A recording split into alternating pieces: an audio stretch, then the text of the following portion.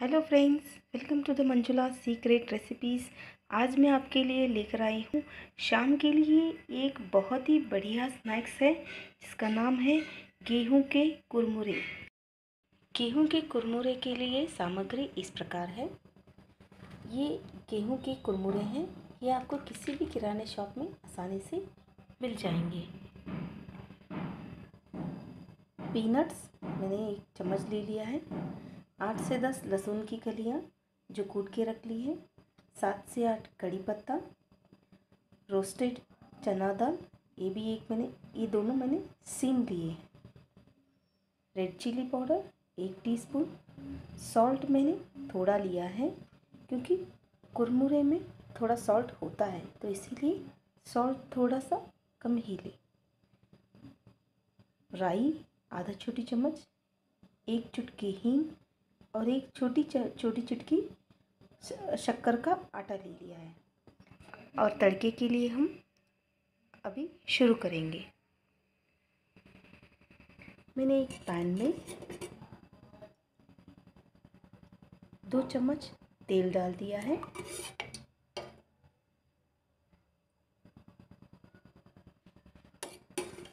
अब तेल गर्म होने के बाद हम इसमें राई डालेंगे। कड़ी पत्ता मैंने डाल दिया है। अब मैं डाल रही लहसुन की कलियाँ, जो कूट के रख लिए थे।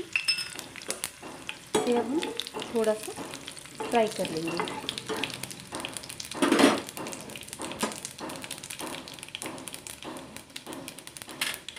अब हम इसमें डालेंगे हींग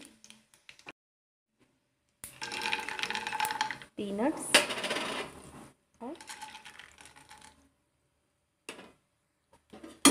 दो मिनट के लिए अब हम इसे फ्राई करेंगे।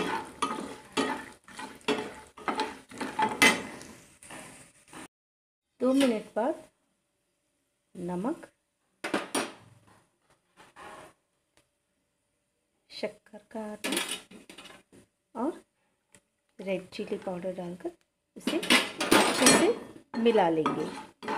ये देखिए ये याद रखिए फ्रेंड्स इसे हमेशा लो फ्लेम पे ही करना है। ये अच्छे से मिक्स होने के बाद गैस को बंद कर दीजिए। फिर उसके बाद उसमें मुरमुरे डाल के अच्छी से एक मिक्स दीजिए।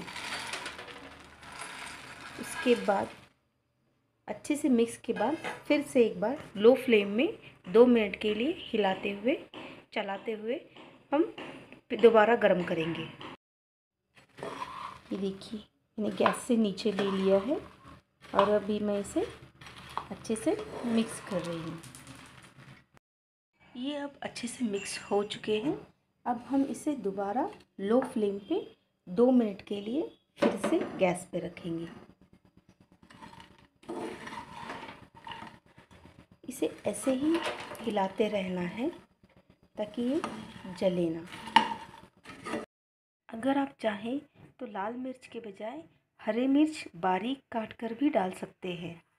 ये गेहूँ के कुरमुरे अब तैयार हैं। अब हम इसे गैस से उतार लेंगे। और है, अगर मेरा ये वीडियो आपको पसंद आया है तो प्लीज़ लाइक कीजिए, शेयर और कमेंट कीजिए और मेरे चैनल को सब्सक्राइब करना ना भूलें। Thank you.